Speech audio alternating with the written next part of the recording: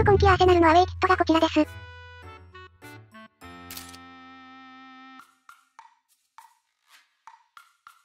う毎年カエルだ。普通のカエルじゃなくてしっかり毒に寄せてくるのなんなん。なんでアーセナルってこういう現職みたいな服多いんでしょう。来季は下位チームにフロックさせない期待が込められてる説。今夏の補強最優先はデザイナー。なんかこういうクソまずい飲み物なかったっけ？なんですかこれは。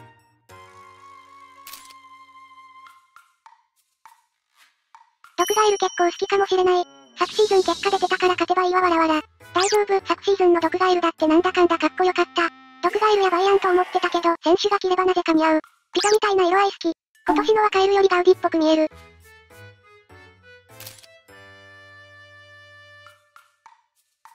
22-23の黄金ブラックが飛行、色のは一切認めない。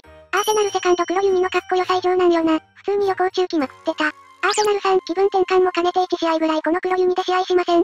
多分半世紀くらい遅いと分かってますが、アーセナルの黒弓ってどこも売り切れなんだな。